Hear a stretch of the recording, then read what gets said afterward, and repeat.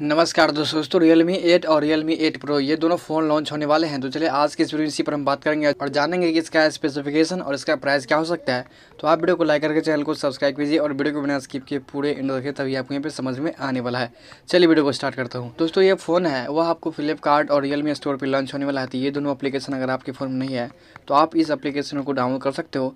और जिन लोगों ने पहले से रखा हूँ करना क्या इस अपलीकेशन को ऑपरेट करना, ठीक है? दोस्तों रियलमी एट और रियलमी एट प्रो जो है, इसमें आपको स्पेसिफिकेशन भर के मिलेगा और प्राइसिंग काफ़ी कम होने वाला है। और जैसा कि आपको बताओ कि रेडमी नोट 10 सीरीज़ ने एक नया ट्रेंड ला के रख दिया है। कि आपको सुपर एमलेट डिस्प्ले के साथ हर एक फ़ोन देखने को मिलता है। उसके बाद उसमें आपको टच सैम्पलिंग रेट और रिफ्रेश रेट जैसा चीज़ भी देखने को मिलता है। तो यही सेम ट्रेंड आपको मी एट सीरीज़ में भी देखने को मिलेगा। मतलब डिस्प्ले आपको सुपर एमलेट होगा, उसके साथ आपको रिफ्रेश रेट और टच सैम्पलिंग रेट वगैरह भी देखने को मिलेगा। तो ये जो नया ट्रेंड आया है, जिसमें आपको सुपर एमलेट डिस्प्ले दिया जाना, ये यहाँ पर काफ़ी अच्छा हो जाता है। नोट टेन सीरीज़ में आपको एक फोर प्रोसेसर देकर स्पेसिफिकेशन एकदम भर दिया गया। इसी प्रकार से रियल मी एट सीरीज़ भी आपको देखने को मिलेगा कि आपको फोर जी प्रोसेसर के साथ उसमें स्पेसिफिकेशन एकदम भर दिया जाएगा। तो सबसे पहले अगर हम बात करें तो रियल मी एट प्रो है, उसमें आपको वन ज़ीरो 108 मेगापिक्सल का प्राइमरी कैमरा देखने को मिलेगा। उसके बाद वो जो फ़ोन होगा, Realme 8 Pro वह आपको एक 5G के साथ आएगा और बाकी आपको Realme 8 या फिर Realme 8i ये दोनों फ़ोन है, वह आपको आएगा 4G के साथ। और 4G में क्या होगा, इसके बारे में आपको बता रहा हूँ।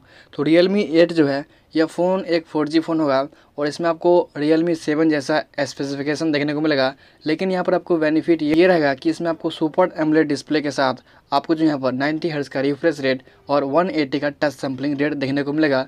Realme 8 में और Realme 8i जो फ़ोन होगा उसमें आपको सिर्फ़ सुपर एमलेट डिस्प्ले देखने को मिलेगा और वो भी एक फोर फ़ोन होगा।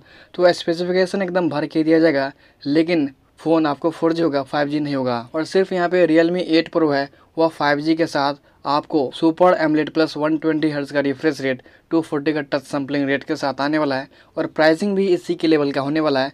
मतलब रेडमी नोट 10 सीरीज़ का जो प्राइसिंग है, उसी प्राइस रेंज में आपको रियल मी एट सीरीज़ भी देखने को मिलेगा। और ये फ़ोन काफ़ी अच्छा होने वाला है। मतलब जो स्पेसिफिकेशन आपको Redmi Note 10 सीरीज़ में मिल रहा है, उसी प्रकार का आपको Realme 8 सीरीज़ में भी देखने को मिलेगा। लेकिन कुछ चीज़ें यहाँ पर इम्प्रूवमेंट होगा। जैसे कि Redmi Note 10 सीरीज़ में आपको स्नैपड्रैगन का प्रोसेसर देखने को मिलता है तो वहीं आपको Realme 8 सीरीज़ में आपको सिर्फ़ मीडिया का प्रोसेसर देखने को मिलेगा।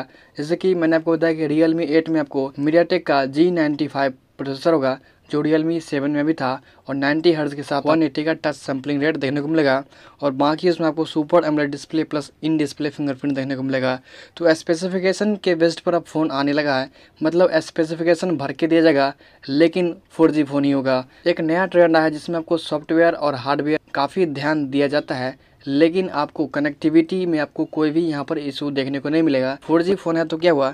स्पेसिफिकेशन एकदम भर के दिया गया है, और ऐसा आपको नहीं लगेगा कि इसमें कोई चीज़ की कमी है। तो फ़ोन ओवरऑल काफ़ी अच्छा यहाँ पे आने वाला है, और कुछ फ़ोटो वगैरह आप यहाँ पे देख भी रहोगे।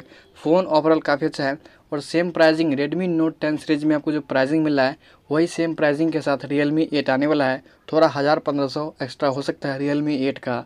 तो बस आज की इस वीडियो में ही बताया मैं तो उम्मीद करता हूँ काफ़ी अच्छे तरीके से समझ में आएगा इसके बावजूद भी अगर आपको कोई प्रॉब्लम या फिर कोई सुझाव लेना है फिर देना हो तो डिस्क्रिप्शन में टेलीग्राम ग्रुप का लिंक मिलेगा। तो मेरे टेलीग्राम ग्रुप पर आकर आप पूछ सकते हो, वैसे रियल मी एट सीज है, वह मार्च में ही लॉन्च होने वाला है।